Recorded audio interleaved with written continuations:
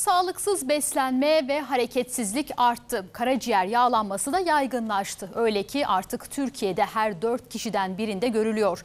Peki hayati önem taşıyan karaciğerin yağlanmasını nasıl önleyebiliriz? Cevabı haberimizde. Vücudumuzun şeker yapımını, yıkımını sağlayan, bütün vücudumuzdaki hücrelere şeker dağılımını sağlayan, şekerin dengesini ayarlayan organlardan biri de yine karaciğer. Vücudun e, detoks organı. Fabrika gibi çalışıyor.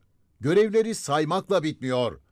Ancak hayati organlardan karaciğer yağlandığında işlev göremez hale geliyor. Karaciğerdeki yağlanma eğer %5'ten fazla bir yağlanma olduysa o zaman karaciğerin yapısında bir bozulma ortaya çıkıyor. Karaciğer yağlanıyor ve büyüyor. Karaciğer yağlanıp büyüdüğü zaman az önce bahsettiğimiz fonksiyonları yerine getiremiyor. Ülkemizdeki insanların beslenme şeklinden ve genetik yapısından kaynaklı olarak obezite oranı her geçen gün artıyor. Obezite ile birlikte karaciğer yağlanması da çok sık görülmeye başladı. Özellikle Türkiye'de her 4 kişiden biri karaciğer yağlanmasıyla karşı karşıya kalıyor. Her 4 kişiden birinde karaciğer yağlanması görülüyor. Evet duyuyorum. Evet. Var mı böyle bir rahatsızlığımız çevremizde?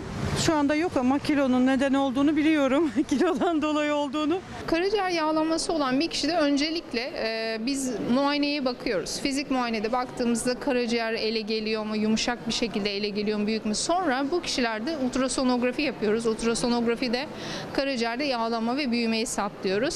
Ve bir de kan tetkikleri yapıyoruz. Karaciğer enzimlerinde bir e, yükselme var mı yok mu diye. Kardeşimde vardı rahatsızlığı. Rahatsızlanınca gitmişti.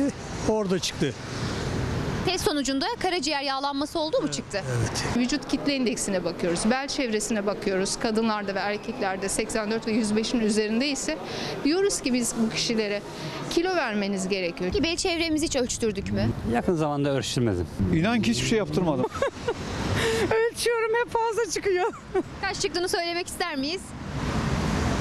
91 fazla. makarna, ekmek, yiyecek. Mesela en fazla pirinçten, makarnadan onlardan mesela uzak durmak gerekir. Yani çoğunlukla yeşillik yiyeceksin.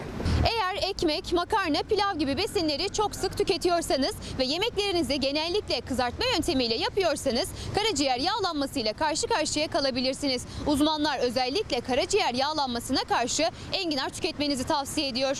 Uzmanlar karaciğer yağlanmasına karşı önlem almaya çağırdı. Bunun yoluysa spor ve uygun diyetten geçiyor. Diyoruz ki egzersiz olarak her gün mutlaka yarım saatlik yürüyüş yapın. Özellikle bir takım şeylerden uzak durmak gerekiyor. Bunlar neler? Kuru yemişler. Hem kolesterol trigliseridi artırarak yağlıyor. Hayvansal gıdaların fazla tüketilmesi keza karaciğeri yağlayabiliyor. Bu gıdalardan uzak durmak gerekiyor. Yürüyüş yapma işim tamam. Sağlıklı beslenme işi de aşağı yukarı tamam. Ama işte zaman zaman kontrol şart. Daha fazla video izlemek için kanalımıza abone olabilir, ilk izleyen olmak isterseniz bildirimleri açabilirsiniz.